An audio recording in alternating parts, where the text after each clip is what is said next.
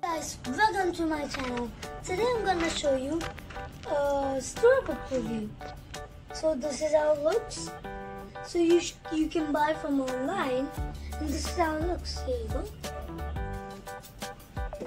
So now let's see what's inside.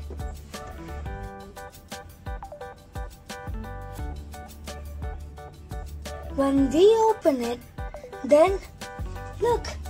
So there's a torch, a theater, a book, oops, a, a book, and some of these things.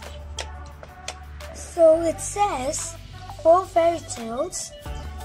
There's Cinderella, Thumbelina, The Happy Prince, and Pinocchio. So there are actually four films. So we can pick any, or we can pick two. So this is how I teach you how to do it. Take one, then if you can see this thing, do it the other way and press it in like this. When it looks like this, check if the light is on and, and it's ready to go. So now, when, when it's ready, you can see the screen still. Turn it on. And you can adjust this dot to get the clarity. See?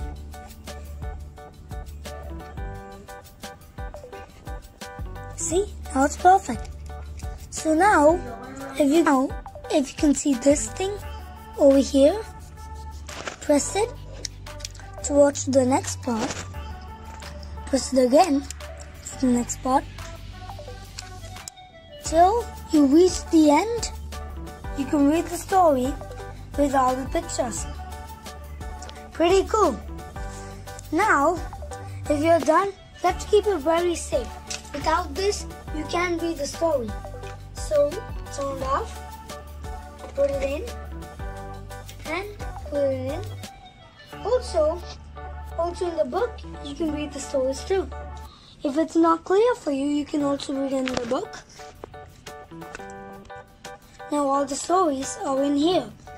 So if it's not clear for you, you can look at look in this, look in the other page. You can also narrate the story. It looks even better in the dark. I'll show you how. Hmm, which one should I pick? Hmm, Pinocchio. That's my favorite. So,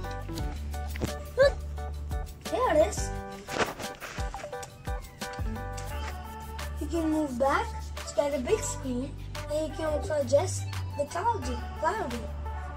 Go straight to get a bigger clarity. Come back to get the good clarity and to get the screen bigger. And go small to make the clarity more better and to make the screen small. Thanks for watching my video. I'll come back with a new video. If you like my video, please like and subscribe. Thank you and good night.